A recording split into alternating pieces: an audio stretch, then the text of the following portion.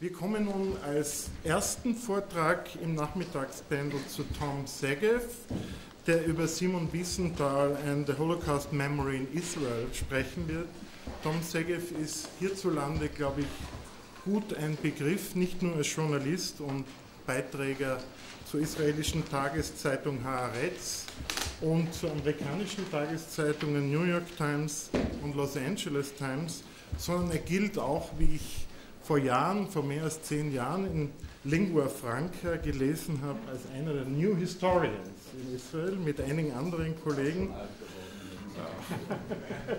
Nichtsdestoweniger gelten einige seiner Bücher, kann ich sagen, als Klassiker mittlerweile. Ich möchte nur drei nennen: The Seventh Million, The Israelis and the Holocaust, One Palestine, Complete Jews and Arabs under the British Mandate und kürzlich auch ins Deutsche übersetzt, wie die anderen Bücher. and the Americanization of Israel. Bitte. Dankeschön. Mir ist leichter auf Englisch zu reden, aber die Fragen kann ich dann auch auf, äh, auf Deutsch äh, beantworten. In the summer of 1949, tens of thousands of Israelis took part in a very unusual event the funeral of ashes that were said to belong to 200,000 Jews who were killed uh, in the concentration camps in Europe. These ashes were brought to uh, Israel from Austria. Never before or since were so many people laid to rest in a single burial ceremony. The timing of the funeral was peculiar too. Israel was less than two years old. The first war with the Arabs had uh, just come to an end. The country's existence was far from guaranteed. Hundreds of thousands of immigrants poured into the country from Arab countries and from the DP camps in Germany and here in Austria, bringing with them nothing but economic and psychological misery. The major task confronting the new state was nation building, and the Holocaust had not yet been made part of that process. In fact, the Holocaust in those days was taboo. Parents wouldn't talk to their children about it, and children wouldn't dare to ask. What we have here is a social, political, and mostly psychological problem. And no one knew how to design national memory. Yad Vashem was struggling for money to pay the rent for a very small apartment, which was all it had in those days. In these circumstances, the mayor of Tel Aviv hardly knew what to do with a letter from Linz, which he received in October 1948, written in Yiddish and signed by one Simon Wiesenthal. He had no idea who Mr. Wiesenthal from Linz was. Der jüdische KZ-Verband in Österreich hat beschlossen, überzuschicken mit speziellen zwei Schlichim die drei Urnen mit dem Asch-Gedächtnis von die Gdeutsche.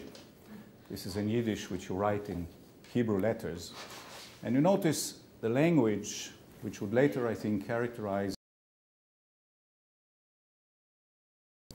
This is not something we, the Jews in Austria, ask the Israelis to do. We are not seeking for Israel's advice. This is something we are informing you. We are informing you that this is what we have decided to do. And we expect you to respect our decision and know how the remains of 200,000 people should be laid to rest in a proper manner.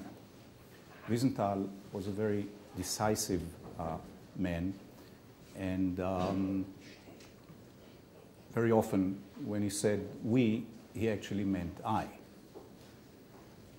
This may have been the first big Wiesenthal project. It certainly was the first major Holocaust related event in Israel.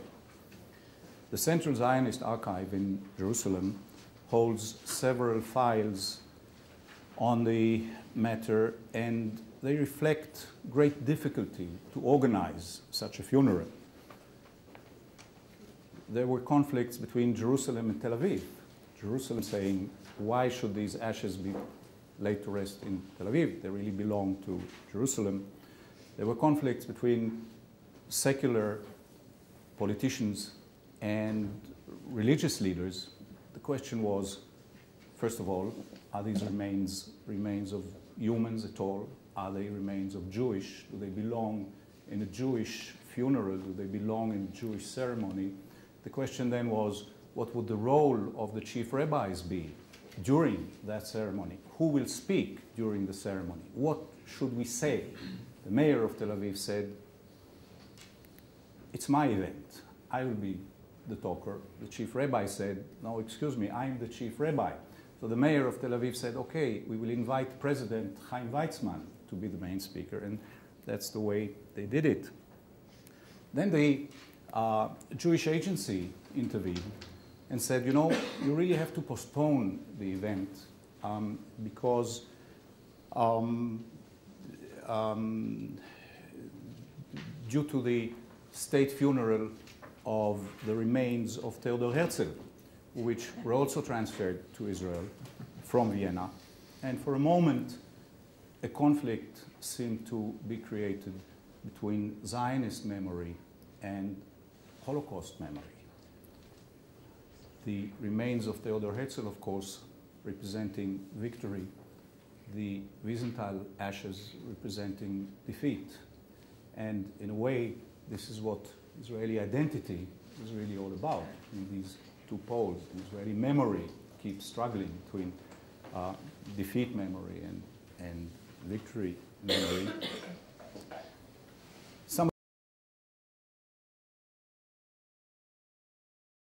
Whole affair. Wiesenthal naturally assumed that um, they will cover for the plane ticket. So Tel Aviv said to Jerusalem, You wanted the ceremony in Jerusalem, we'll have it in Jerusalem. Eventually, everything went well. The funeral became a national event, obviously heavily loaded uh, with emotion. And for Wiesenthal, this was the first time in Israel. I'm telling you all this in such great detail for a reason. For the past few weeks, I've been privileged to go through the papers of Simon Wiesenthal as he left them when he died. Huge amounts of material, most of it not yet put in any archival order. I'm able to do this uh, work thanks to the invitation of this uh, institute, the IFK, and I want to take this opportunity and express my deep gratitude not only for the generosity of the IFK, but also for the very, very friendly hospitality. The material I'm working on, I understand, and we heard yesterday, is supposed to become the basis for a Wiesenthal Research Center. And since I'm probably the first person to gain such intimate knowledge of this material, I can say that this is a virtual treasure for historians. There are at least 20 PhD uh, dissertations there. Also, I find it hard to understand that Austria does not yet have a central institute for genocide and uh, Holocaust studies. So I'm in Vienna to understand Simon Wiesenthal, but my work has just started, and so the best I can do this afternoon is to share with you some thoughts and some methodological difficulties. For instance, I've often thought about the accuracy, the probability of Wiesenthal's memoirs. I guess the right word is credibility.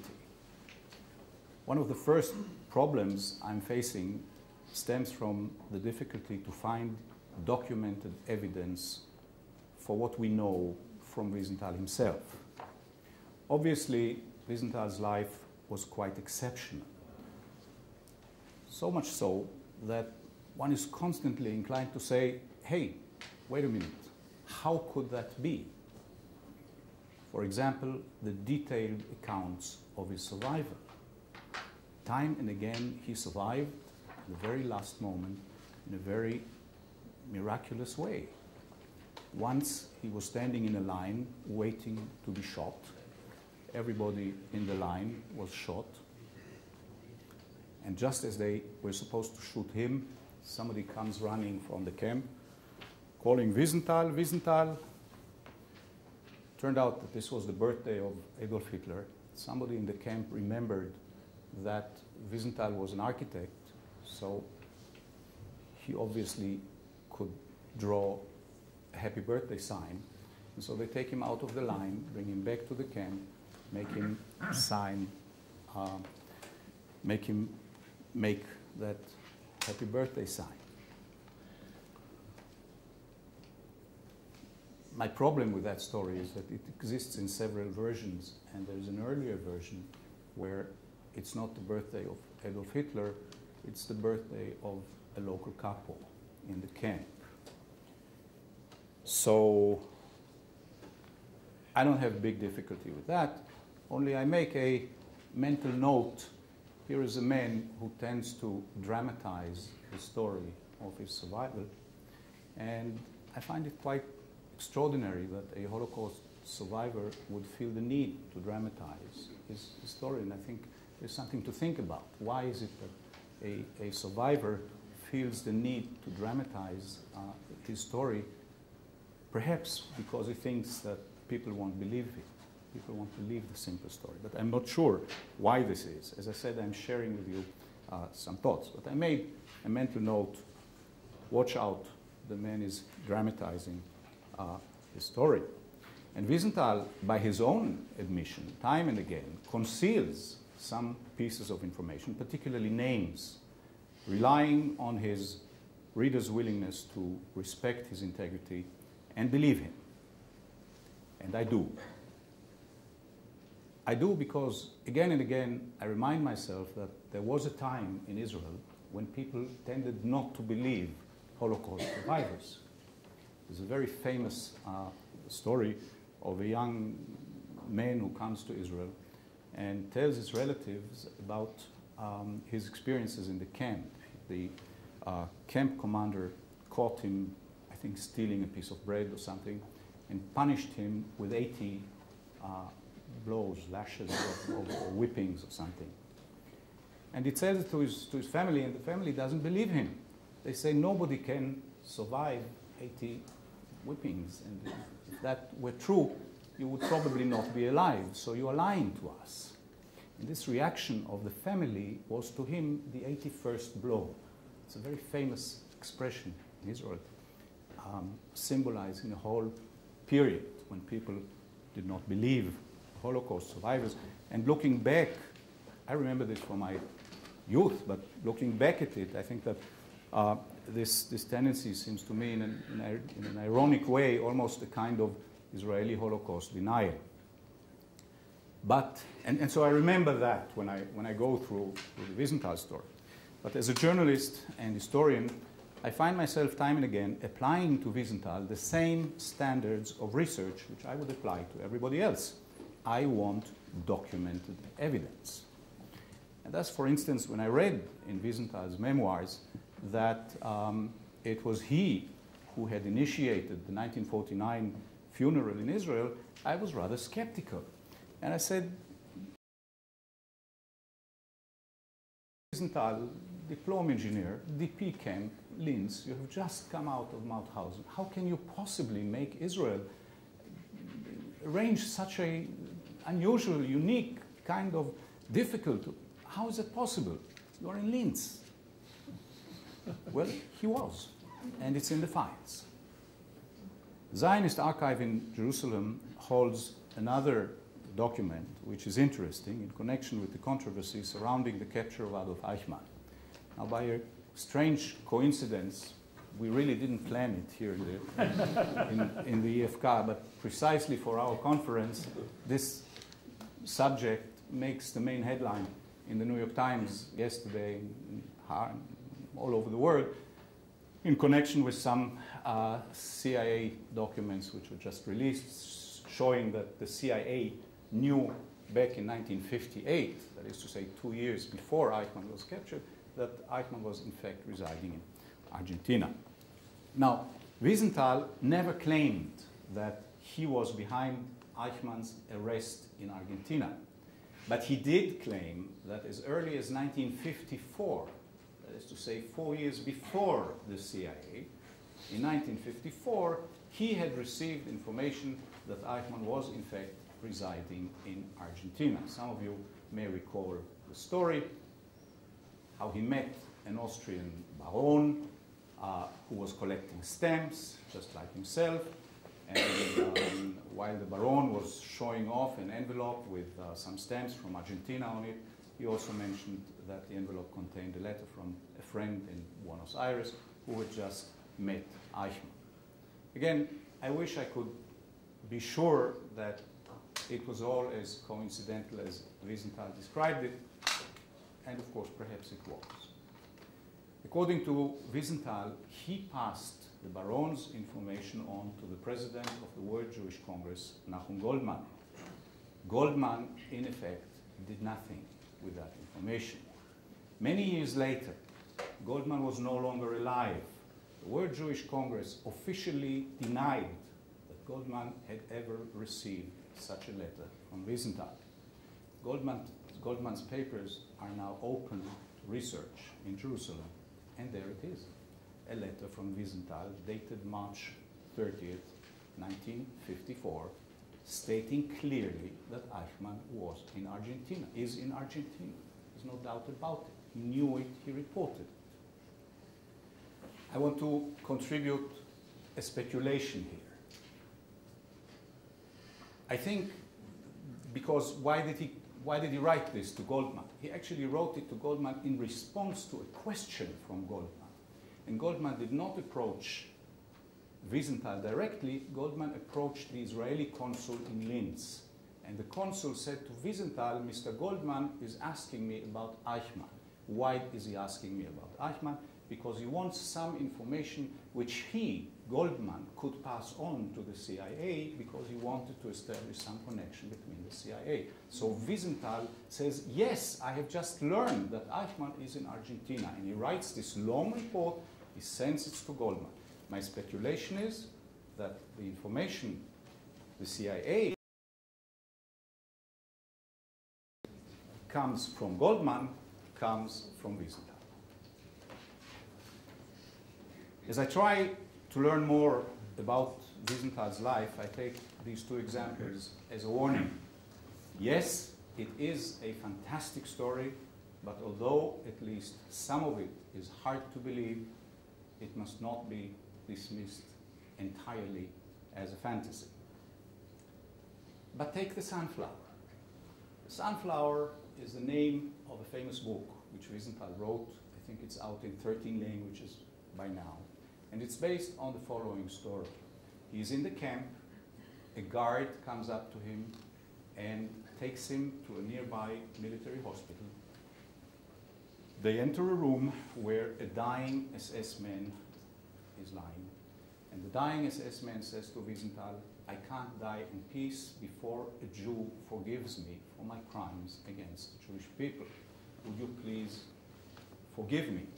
And Wiesenthal turns his back and leaves the room and does not forgive.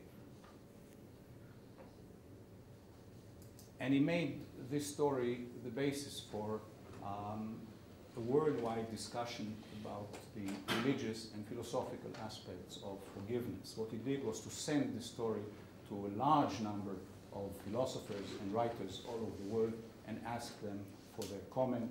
And together, this is the discussion of, of forgiveness, which is, yes, it's a good subject to, to discuss philosophically and, and religiously. Um, he received letters from all over the world asking him, is it true? And he answered, Yes, it is true. By the way, he received a marvelous letter from Heinrich Böll, which I didn't know about because I think it's not in the book. I only discovered it in his files now, where Heinrich Böll tells him, if it's a true story, it's a marvelous account and it's great. If it's literature, it's very bad. he starts to make corrections like a teacher would make corrections on a composition of a, of a pupil. On line three, maybe you use the, the verb like this, or you put the sentence here, or you do this, or you do that. Now, how is it possible that a camp, camp prisoner would be taken into the room of a dying SS man? Who ever heard of a dying SS man who needs forgiveness from a Jew? How did he know the, the, story then goes on because he says that after the war, he went to, um, he traveled to Stuttgart.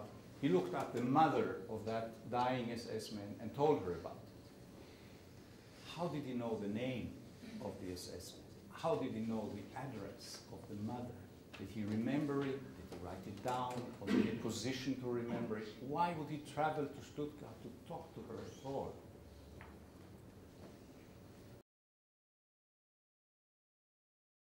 one may adopt a postmodernistic attitude to some of Wiesenthal's writings and say, what difference does it make if it's true or not? What should interest us is the philosophical and religious discussion of uh, forgiveness.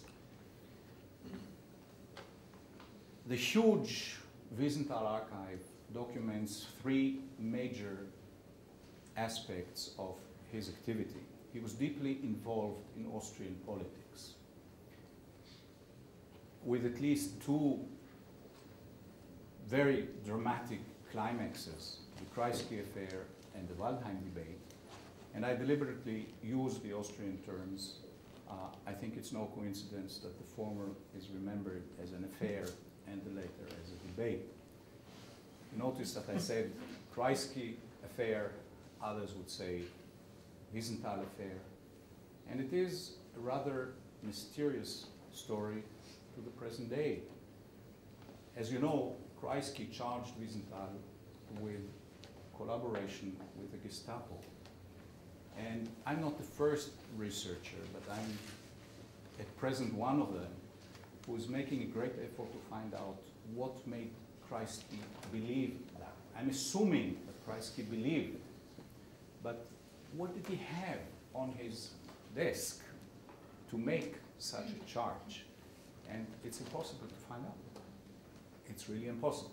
There's one theory, I think somebody already mentioned this morning or, or yesterday the name Theodor Oberländer was a, a, um, a West German uh, cabinet minister with SS uh, past. And it is possible that Kreisky assumed that in case he needs to go to court, this man Oberländer will uh, substantiate the claim that um, Wiesenthal had collaborated with the Gestapo. Why would Oberländer know that? I don't know. Why did Kreisky think that? I don't know. I can tell you that there is, in fact, a Theodor Oberländer file held by the Kreisky archive here in Vienna. And I went to see it, and they were very nice. They took it out, they put it on the table, and it is empty. There's nothing in it.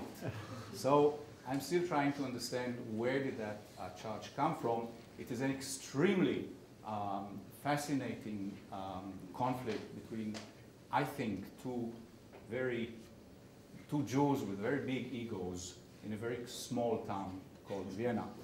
and uh, I'm trying to, to understand. Then there is Wiesenthal, the Nazi hunter.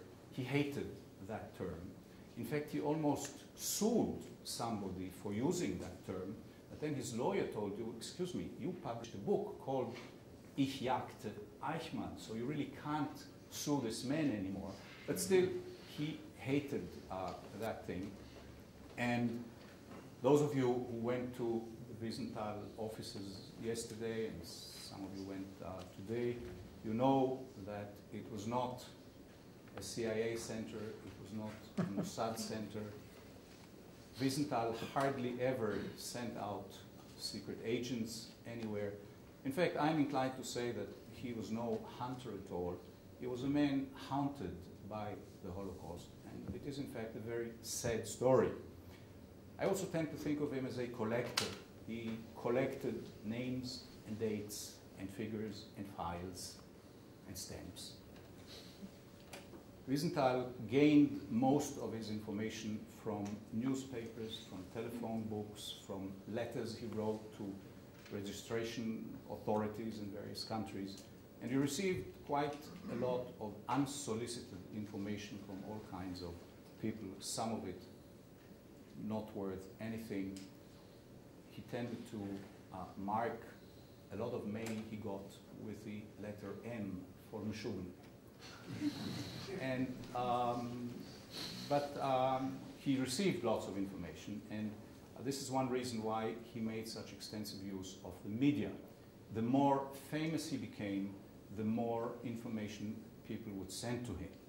And I would say that most of the significant successes resulted from this kind of information, not from any secret agency sent out anywhere. And I would also say that um, the number of disappointments exceeds by far the number of successes. What interests me most about Wiesenthal is the role he played in shaping the Holocaust memory in Israel and in the world.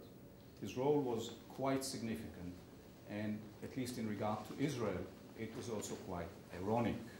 Because over the years, Israel sought to become the sole, or at least the main moral authority on Holocaust lessons. And the Holocaust also, with, with, from over the years, became a major component of the Israeli identity. Wiesenthal, in the meantime, worked hard to prevent the world from sinking the Holocaust into oblivion. The Holocaust became a universal code of ultimate evil, largely due to Wiesenthal's work. But as a result of this development, Israel lost its self proclaimed monopoly on the Holocaust heritage, much to its dismay. Wiesenthal's approach to the Holocaust was often too universal for the Israelis. For instance, there were differences of opinion between Yad Vashem and Wiesenthal concerning the proper way to remember the extermination of the Sinti and Roma. Wiesenthal encouraged the memory of other groups of victims, the mentally retarded, the homosexuals, the Jehovah's Witnesses.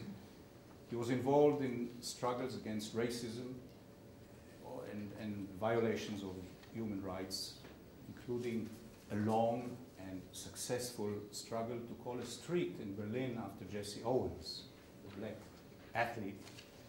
And he tried to help the Indians in Latin America. In this connection, he wrote a very angry letter to the Israeli ambassador in Vienna. Israel, he wrote, should be more aware of the use Latin American countries are making with the weapons they buy from Israel. It is quite noticeable, however, that he never criticized Israel's human rights violations on the Palestinian territories. But he was quite active uh, in the Bosnia crisis. So it is a rather complex story. As I walk along the shelves of Wiesenthal's deserted office, I can visualize the drama of his life. Starting with the 1945 files, I meet skeleton, really, who hardly knows where to begin life again. Walking on along the shelf, perhaps 10 meters or so, 50 years or so, I come across a little note in English saying, Simon, darling, take care of Elizabeth Taylor, that is. So, as a Holocaust celebrity, the story of Simon Wiesenthal raises the question why is it that the Western world needed that kind of moral hero, and why now? Again, it is a question that at this stage of my work I would have to leave hanging in the air, but I'm still looking for the answer. Thank you very much.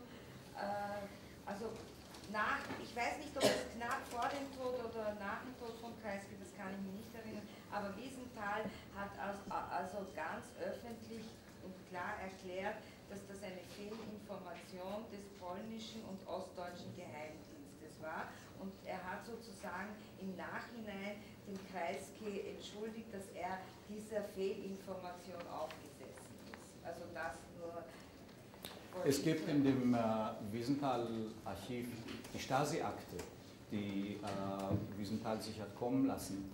Und da würde man ja meinen, dass wenn die Polen etwas gewusst hätten, wusste es vielleicht die Stasi auch. Die schlimmste Anschuldigung in der Stasi-Akte ist, dass der Wiesenthal amerikanischer Agent war. Aber schlimmer konnte man's, haben sie sich nichts erfunden können, die, die DDR. Also, also ähm, ich kann Ihnen sagen, dass es überhaupt keine keinen Anfang von Beweis gibt, dass der Wiesenthal irgendwie ähm, eine andere Geschichte hatte, eine Überlebensgeschichte, als er geschrieben hat ja, in seinem Buch. aber das hängt so in der Luft. Was nein, aber der Wiesenthal hat eben das auch also behauptet, ja.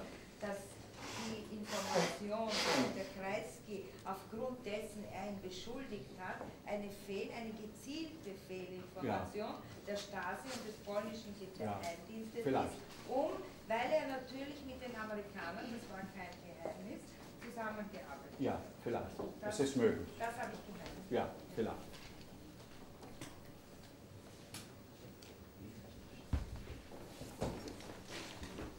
Weitere Wortmeldungen?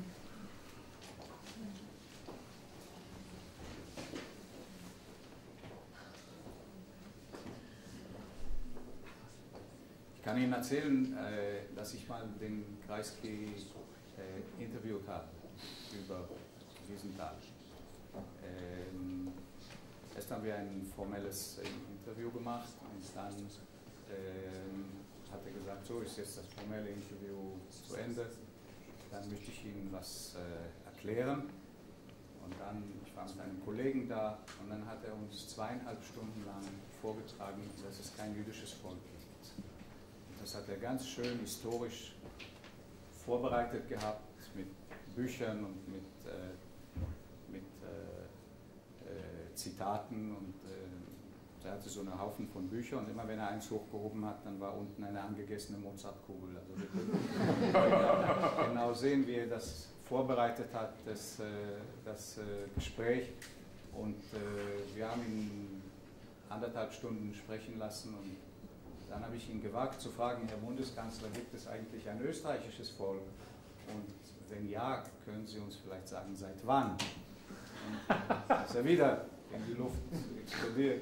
Gesagt, mein Großvater, der war schon zu Napoleons Zeiten und so. Also die, die, äh, der Konflikt ist wirklich sehr, sehr interessant, weil der noch andauert. Das ist ein Konflikt über die Frage, wer Jude ist, was das bedeutet, Jude zu sein ob man Jude sein kann, ohne Zionist zu sein, ob man Zionist sein kann, ohne in Israel zu leben.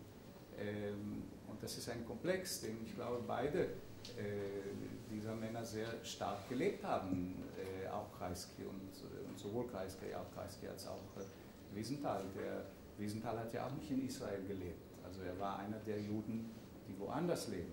Eine Frage, die man ihm immer gestellt hat, ich glaube, dass man sie jedem Juden in Österreich stellt, ist, warum leben sie eigentlich in Österreich?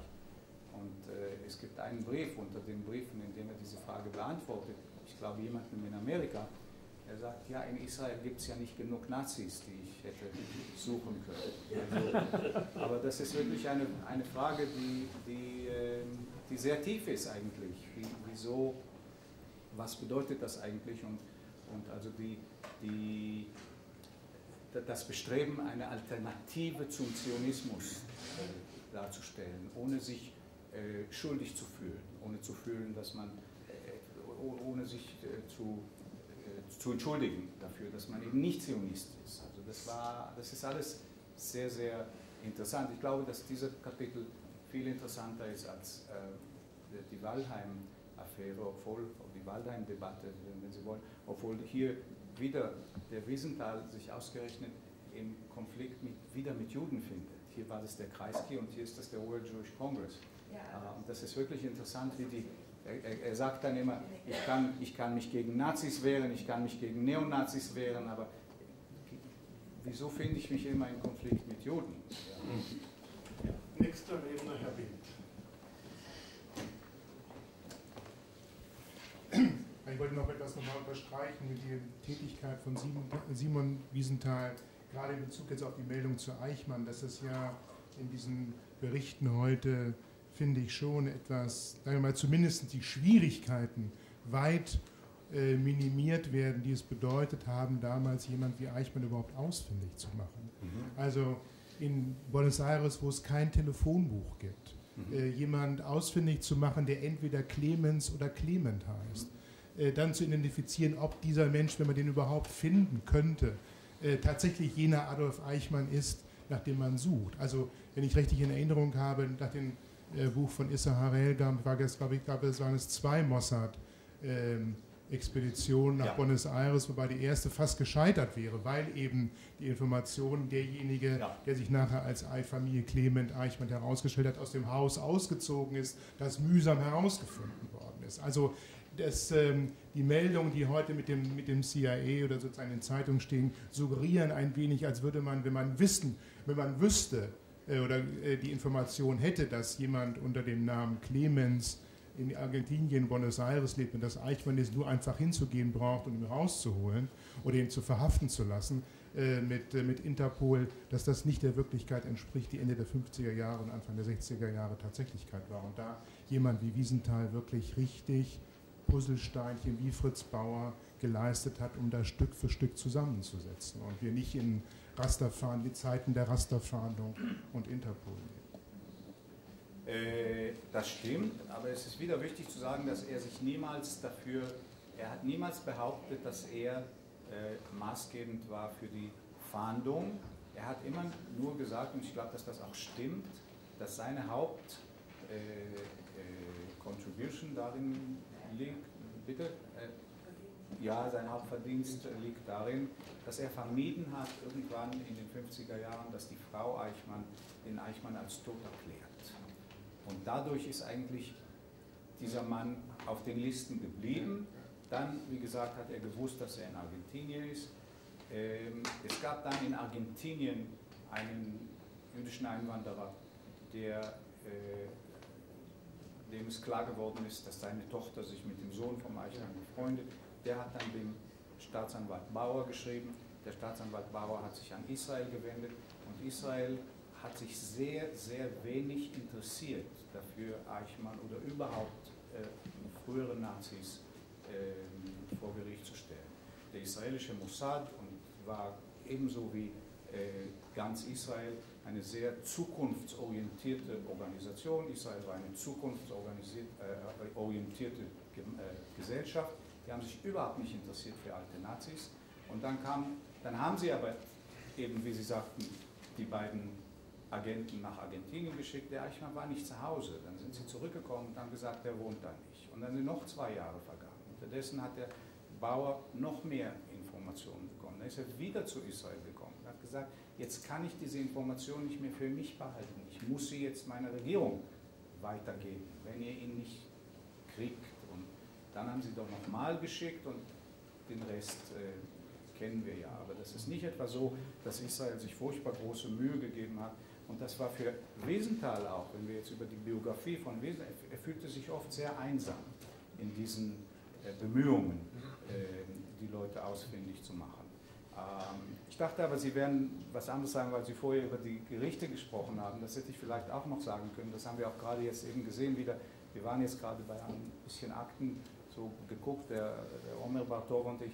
Also man sieht, wie maßgebend der ähm, Wiesenthal war, als man schon mal jemanden verhaftet hat. Da hat man ja überhaupt kein Beweismaterial.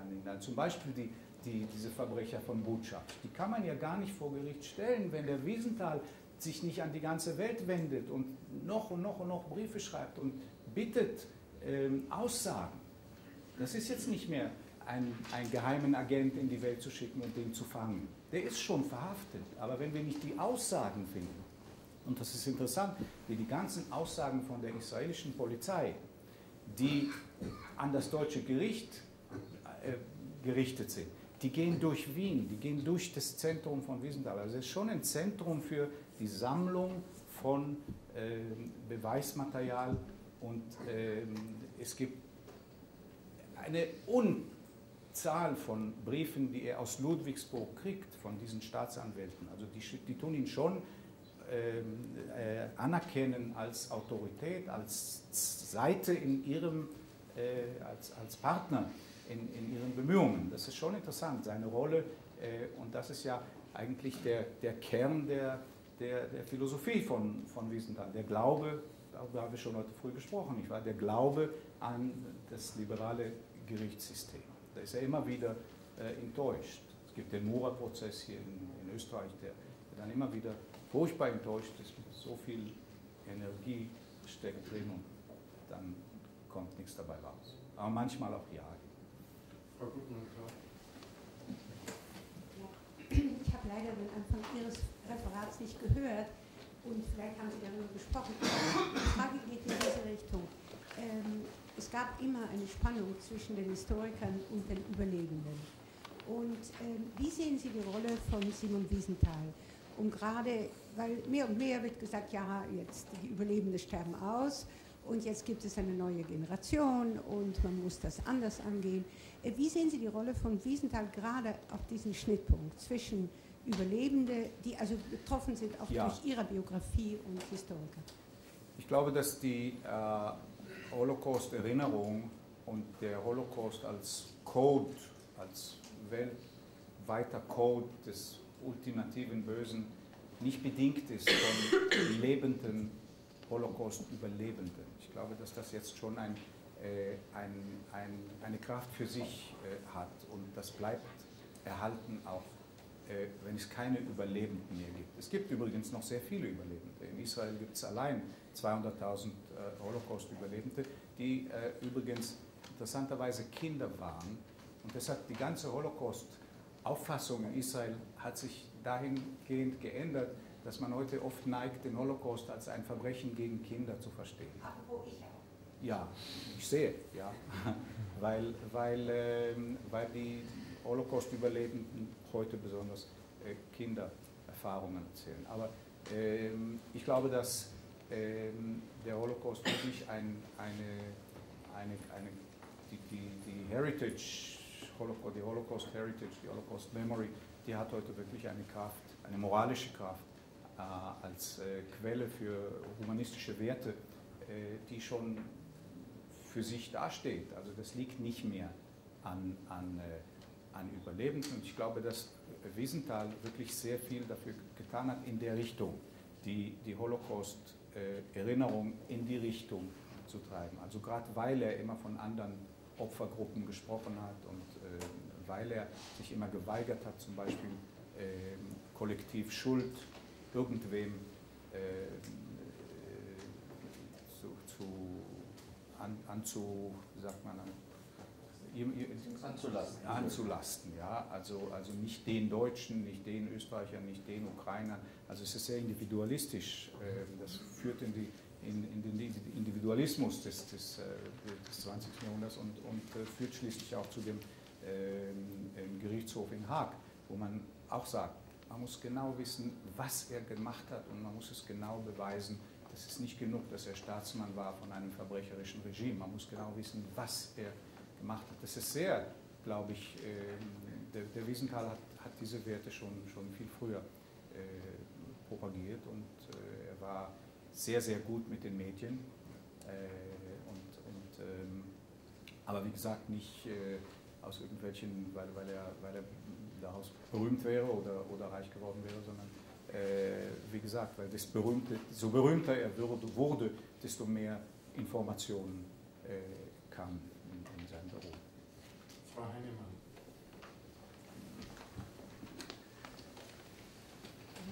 Fragen zur Persönlichkeit von äh, Simon Wiesenthal. Sie haben eingangs gesagt, ähm, er, er, hatte schon eine gewisse Kompromisslosigkeit. Also er hat oft we gesagt und I gemeint. Oder er hat ja. gegenüber diesem Bürgermeister in Tel Aviv gesagt, äh, ja. macht dieses Begräbnis nicht, könnt ihr dieses Begräbnis machen. Also mhm. diese Kompromisslosigkeit, ähm, ändert sich das im Laufe seines Wirkens auch gegenüber Israel?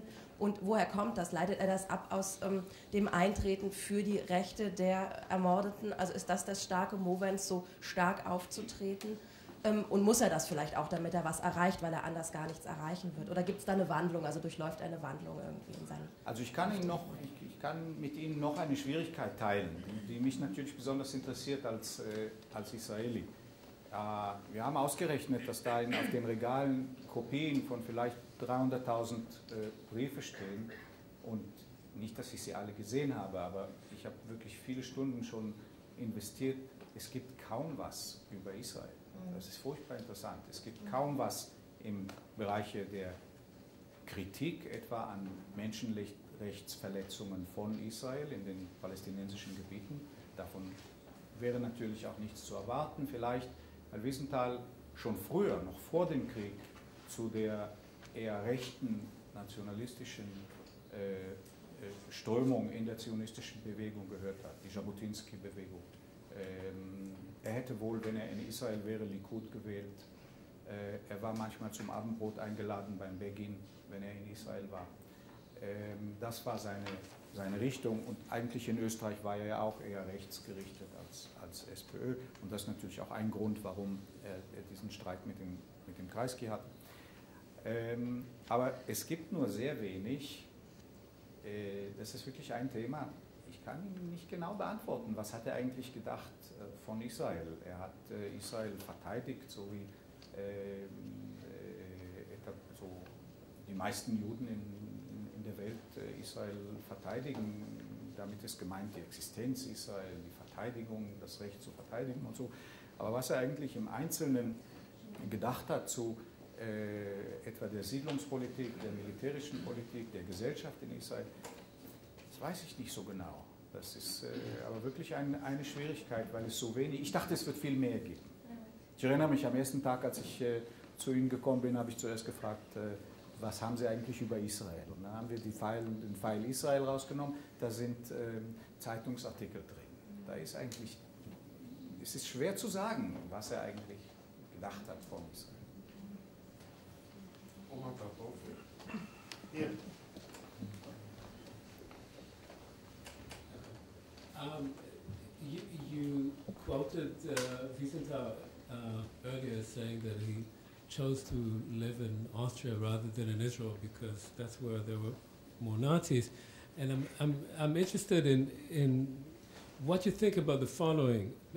You uh, postulate that Wiesenthal played an important role in the manner in which uh, the Holocaust uh, was increasingly treated uh, in the world as an issue that had to do with justice, with the, with the pursuit of specific perpetrators, with finding evidence, and with bringing them to court.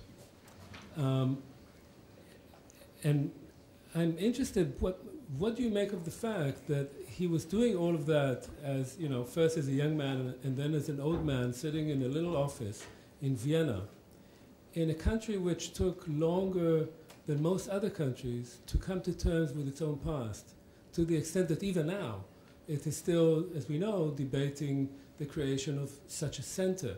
Right. Uh, how, how would that fit into your understanding of his role to the extent the that way I, the way I, I, um, I formulated that question would be uh, I wonder how did he think of himself as an Austrian, uh, perhaps as a Count K Austrian. As a, as a young, he, he was born in, in, in, Galicia, in Buchach, but as a young boy, he came to Vienna and went to school in Vienna for a while, for several years. So he must have thought of himself perhaps as a Viennese, if there is a Viennese identity. I'm not sure, but perhaps. But um, he spent I, tell you one, one, one step that I think made his, his, uh, his Austrian life possible. He started um, as an employee of American organizations.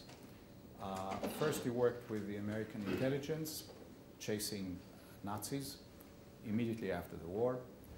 So he wasn't really Austrian. He was living in the Austrian zone of occupation and, and he dealt with the Americans. He then worked for ORT, which is an international Jewish organization. He worked for the JDC, which is a joint uh, uh, organization, for, for many years. And so that may have made it possible, perhaps.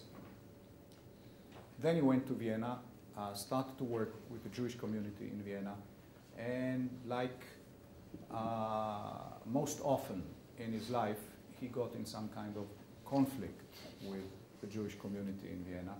And in the meantime, Eichmann was captured. And so he restarted, um, yes, the business of, of looking for Nazis. And so um, he was already here. I, I, I think um, it's, it's not um, an ideological or a conscious decision. I'm staying in, in, in Austria.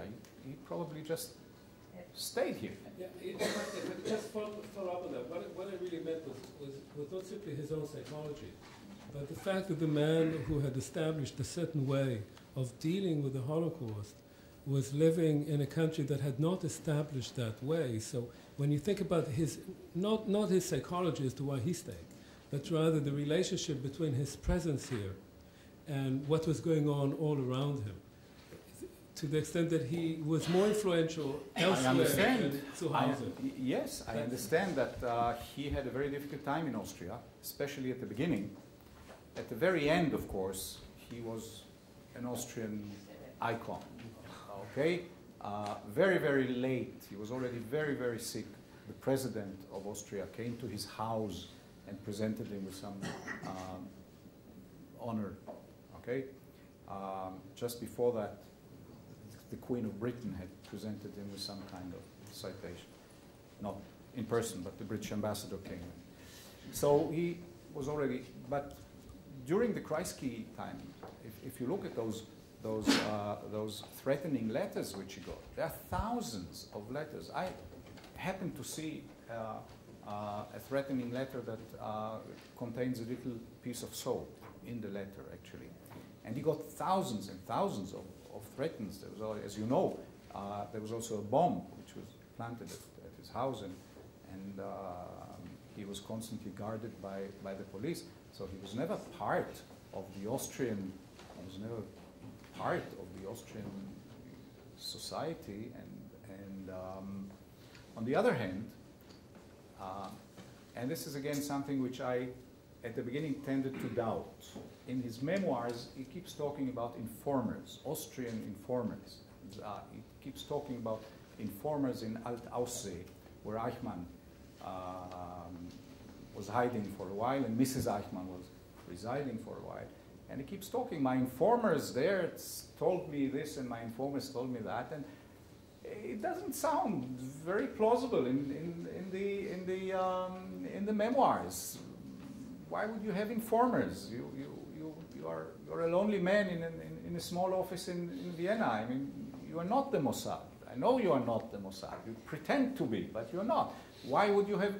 Well, he did have an informer um, who was a retired uh, gendarmerie commander in that little village who did send him information about Mrs. Eichmann out of a conviction a leftist gendarmerie man who thought this is the man Wiesenthal who wants to capture Eichmann. I will help him.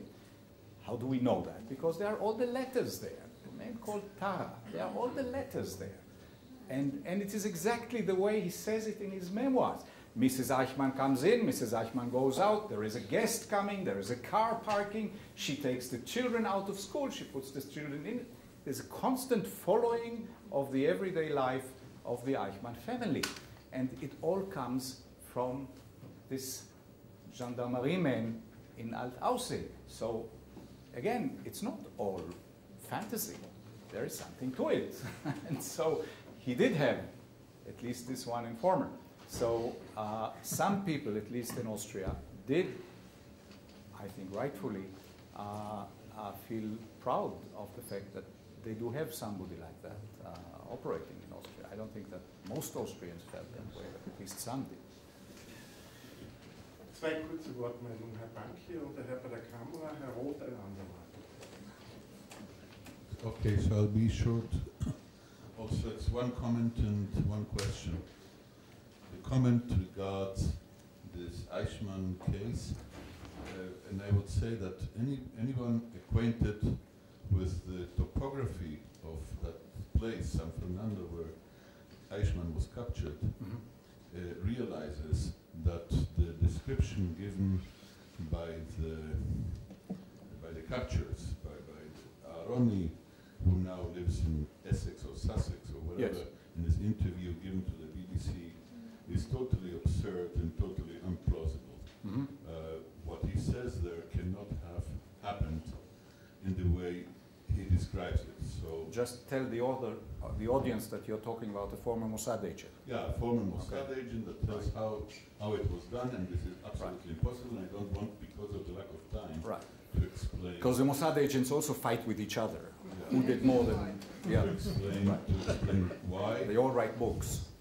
Uh, just to give a hint, you know, that place is more or less today, when you watch television, you can see where Maradona started playing. It's, it's a shanty town. Can you imagine in a shanty town someone comes and starts speaking English with a, with, with a German accent, claiming that he's an American businessman, and Eichmann's daughter opens the door and she understands English, and but this is total nonsense. Nobody speaks English in a shanty town and so on. But that's, that, that's the comment. Now the question is more serious. And I would like now to focus not on, on Wiesenthal, but on the, on, I would say, the Rezeptionsgeschichte. Uh, up to a certain point in time, uh, Wiesel doesn't exist. Up to a certain point in time, Primo Levi doesn't exist. And from a certain moment onwards, these become the epitomes of, of, of Holocaust in different fields. Uh, uh, so the question with, since when is Wiesenthal Wiesenthal and not an eccentric living in, in, in Austria and doing the job of a crank? And does it, do you find a chronological correlation with the acceptance of Primo Levi, of Elie Wiesel as major figures for an event that becomes part and parcel of the Western civilization, the second part of the century? As I said, this is a question which I want to leave hanging in the air because I'm still working on it. But I think that Wiesenthal uh, became very well known surprisingly early. I think that immediately after the capture of Eichmann in 1960, uh, Wiesenthal became a very common name in the international media. He went to America almost every year or twice a year. He gave lectures. He was uh, his books were published in many languages, and it was well known that he exists. This is different, perhaps, than his position in Austria. I think that his position in Austria caught on later as a result of his international reputation. But um, in, in, uh, in, in America, especially, and in other countries, uh, he was quite well known, uh, quite early well known as somebody who hunts Nazis, as a hunter. As a, as a human rights authority, I think it became much later, perhaps uh, as late as the 1970s, and perhaps in connection with the Wiesenthal Center in Los Angeles. There was a very uneasy relationship between the Wiesenthal Center in Los Angeles and between Simon Wiesenthal in Vienna. But I think that one thing the uh, Los Angeles Center did do for Wiesenthal was to raise him into the status of a human rights, um, of an internationally known human rights um, personality. Um, and the interesting thing, of course, is that at about the same time, the same thing happened to Elie Wiesel. And we talked about it, uh, Professor Hilberg, yesterday at dinner. Uh, when did it happen and why did it happen? It's very difficult to, uh, to point the finger and say why did the world need uh, these kind of, of human rights heroes who are related to the Holocaust, but I think it's something to work on. I'm still working on. Letzte Frage ganz kurz, bitte. Die ist auch ganz kurz. Habe ich das richtig verstanden, dass Fritz Bauer seine Kenntnisse über Eichmann nicht an die äh, bundesrepublikanische Behörde weitergeleitet hat? Warum hat er das getan? Er hat sie nur weitergeleitet an den, ähm, an den äh, sozialdemokratischen äh, Ministerpräsident von Hessen. Ich habe jetzt den Namen im Moment vergessen, mit dem L fängt es an. Das war der Einzige, der es wusste. Und er hat gewusst, dass wenn es eine Regierung gibt, dann wird die Regierung auf diplomatischem Wege von Argentinien die Ausweisung von Eichmann bitten und unterdessen wird der Eichmann die Wege von Mengele und von Bormann gehen und Bormann nicht, aber Mengele und irgendwo äh, verschwinden. Und äh, deshalb hat der Bormann, hat der, hat der Bauer äh, wirklich etwas ähm, eigentlich seiner, seiner Verpflichtung als, als Beamter äh, gegen das getan. Er ist einfach zu den Israelis gegangen und hat gesagt, ihr müsst ihn holen. Aber deshalb war es ihm auch so dringend. Länger kann ich nicht warten. Entweder ihr holt ihn jetzt oder wir holen, oder wir holen ihn. Also das ist wirklich eine sehr, sehr interessante Figur, die, der, der Fritz Bauer. Auch eine Biografie wert. Es gibt eine, die, eine, wird gerade geschrieben von der Frau Boyer. Das ist sehr interessant. Danke, Tom. Ich danke auch.